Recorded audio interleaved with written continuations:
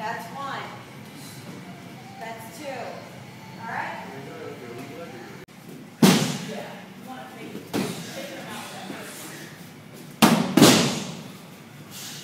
Okay, so I'm going to have you, hold this, you want to hold it to the double.